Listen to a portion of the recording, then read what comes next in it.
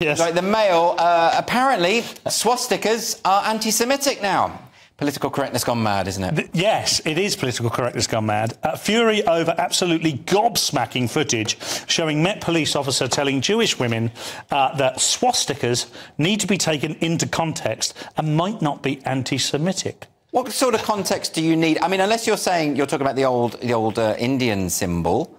Because of course the Nazis stole No, the but that's the swastika. mirror mode. This is reverse. It's, the, it's a, re- but it's the same. sort I of actually, I mean, I don't want to undermine all police officers, but I don't believe this police officer would have been aware of where the swastika came from. No. Um, I don't think that would have entered his mind. I think we've got to a point now where we are so avoiding the elephant in the room Yes. that we're telling everybody that everything needs context. So nobody knows what right and wrong is anymore. Even the people that are employed to make sure we understand what right and wrong are. Is are. it just, I mean, we're seeing the footage there on screen now. Is it just the, the police don't want to arrest certain people because they don't want to be accused of certain things? And that even includes, apparently, if someone's holding a swastika. I would say, Jonathan, uh, a swastika is always, always has anti Semitic I mean, I would agree, but in the context of an anti-Israel march, where there's been plenty of anti-Semitic remarks Yes. being made at these event, pretty events, clear, right? Events, I think the message is quite clear. Um, now, is this an issue with that one policeman who was too afraid to say something, or is this more a policy issue with the whole police? Uh, needs to be addressed? I, I can't imagine. I think this is a rogue cop, isn't it? Yeah, also, well, it's very difficult because, I mean, I wouldn't, I don't know about you, Andrew, but I wouldn't want to police any of this stuff.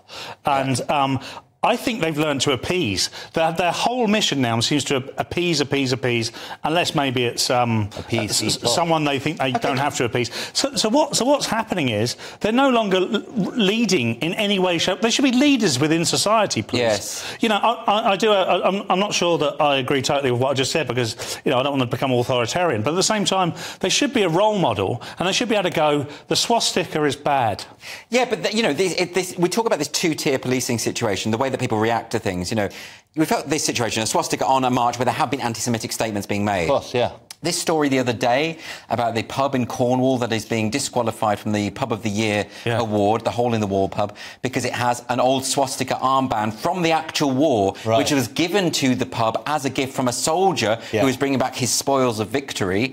You know, it wasn't uh, endorsing the Nazis; it was celebrating the triumph over the Nazis. And they had this museum room Hmm. at the back, and it was in a glass cabinet. They were nominated for Pub of the Year, but everyone's freaked out and said, "No, now you can't do it. Now you can't have the prize." Ah. The context there that was outside of London then. well, Cornwall. You Yeah. can't go Oh, much yeah. further. Really. Yeah, true. Um, uh, and and the, the context there is clear. It's Yeah. not promoting the Nazis. On a march where lots of people are saying anti-Semitic things, context kind of... You don't Absolutely. really, you know... I mean, we didn't see the whole thing. I always want to try and give as much context as possible because, you know, as comedians and as people who talk about the newspapers, things we often see things taken out of context. So there is, Yeah. so I want to give him some benefit of the doubt. But I do believe this is systematic now, Yeah. and they're just too afraid because the opposite side of that argument are Muslims, and they're very afraid. To, to, to in any way discourage a Muslim from anything. And you know what? We all, we, all, we all know and love Muslims are going through Ramadan at the moment, but they don't need any more protecting than we do. Everybody needs to have the same rules Just applied. treat everyone equally. This Yeah. is the problem with Rotherham. Can't we all just get along? Uh, That's a beautiful... You should sing Ebony and Ivory now. That's what you should do. All right. No. Monday...